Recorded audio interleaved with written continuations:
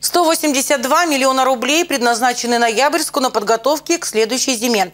На эти деньги муниципалитет планирует отремонтировать магистральные сети тепловодоснабжения на улицах Ленина, Северной и Высоцкого, а также провести капитальный ремонт двух котлов на Венгапуровской котельной. Об этом на заседании городской думы рассказали представители администрации Ноябрьска.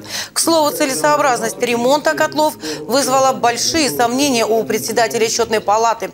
Татьяна Киро рассказала о том, что новый котел стоит порядка трех с половиной миллионов рублей. И это примерно в два раза дешевле, чем ремонт старого. Обосновать, почему в этом случае администрация остановила свой выбор все-таки на ремонте, депутаты предложили исполняющему обязанности главы администрации Андрея Касьяненко.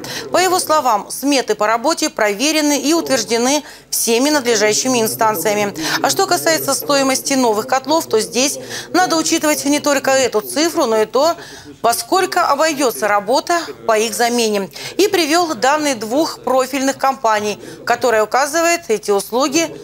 Здесь, э, в частности, указывается, что э, стоимость оборудования действительно 3,5 миллиона, но кроме этого входят затраты э, при производстве капитального ремонта котлов. Это демонтажные работы, стоимость 2 миллиона 110 тысяч, монтажные работы 4 миллиона 950 тысяч, ну, непредвиденные, пусконаладочные. Итого сумма по их э, расчетам составляет 13 миллионов 167 тысяч рублей.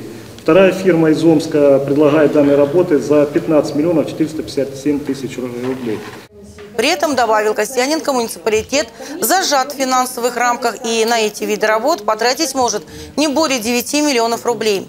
В итоге было решено, что в этом году котлы будут отремонтированы, но в будущем вопрос надо ставить об их замене.